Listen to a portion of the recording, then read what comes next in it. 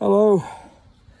I'm taking it easy in my back garden because tomorrow I get on the train and I will be arriving in Edinburgh to do a 21 show run uh, from the 2nd to the 25th with the Mondays off. And I shall be using this, the eccentriconograph.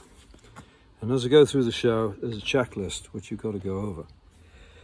And I shall be uh, well, appearing in it at some point, but mainly other people are doing the show, like Spike Milligan and William McGonagall. Not William McGonagall, he didn't make it, but there's an extended version that has William McGonagall. William's not in it this year. Uh, I'm in the condensed version, together with particularly Quentin Crisp, um, my big hero. Uh, even though I never had the sexuality, it doesn't mean you don't adore the personality and his approach to life. And I've been researching him for quite a while, so got another book on Quentin, watched the interviews. So I hope to bring him back to life.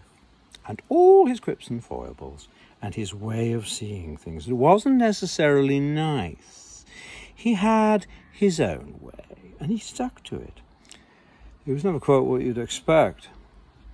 And I think one mark of the outsider is that absolute self integrity doesn't mean you're a nice person or somebody everybody can like. And the shows have not attracted mainstream media, just the niche reviewers, which in a way has a certain uh, charm for me from my background of uh, knowing from the start that it wasn't exactly like everybody else. When you discover you're autistic at 41, you enter into a whole world of uh, what are now known as uh, autism politics and all the other isms beginning with neuro, which some people uh, refute and, and stand against neurodiversity, and in so doing create neuropolitics, which is something else they refute. They just think there's normal people and sick ones. There's the uh, strong and the weak, the winners and the losers.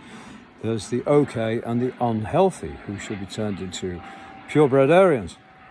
And you can understand it if you've got mentally disabled children. I, I totally support anything that helps somebody who is mentally disabled not to be mentally disabled, live an independent life in the style and the way that our neurotypical majority demand. But look, when you're made a certain way, you're made a certain way. So if you can't do anything about that, try to be positive about it. Find unconditional love for yourself and everyone else. I sound like a stock Dharma record, but that's uh, what it is to be a Buddhist. You tend to uh, say the same thing over and over again. It's called chanting. So may you all be happy and well, and I hope to see you in my show, uh, which is one o'clock, except the Mondays, in the alcove room of Bar 50, which is on the ground, which is now called the Access Bar. Came up with this name. And I'm the fellow you get onto if you want access, you need any help, if you're disabled and you're a diverse person, you contact me. I'll see what I can do, but we all know that the Edinburgh Fringe is a bit of a war zone. However, that doesn't mean you can't take certain elemental uh, precautions when you're going into it ear protectors, baseball cap, watch out for lights, um, be brave, be brave, and you can have some brilliant experiences at the hands of people who are performers. And let me conclude by saying it takes a lot to get to the Edinburgh Fringes. It's taking more and more every year. I don't get a grant, I use all my own cash. I think most of us do except the ones who are lucky to get bursaries. They don't give me bursaries. Ah, don't give me reviews, bursaries. And yet I get all this praise from everybody who knows. I don't know. I get all this positive feedback. Oh, it's nice to get.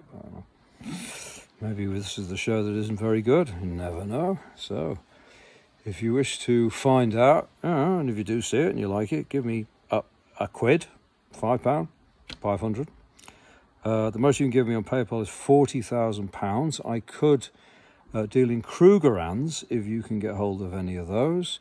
And of course, uh, sovereigns are always appreciated.